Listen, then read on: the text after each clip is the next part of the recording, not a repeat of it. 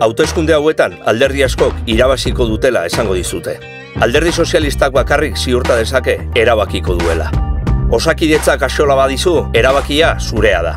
Gazteentzako etxe bizitza babestu gehiago nahi baduzu, erabakia zurea da hezkuntzako betu behar duela uste baduzu, erabakia zurea da. Hautezkunde hauetan zuk zeuk erabakitzen duzu zein Euskadi nahi duzun.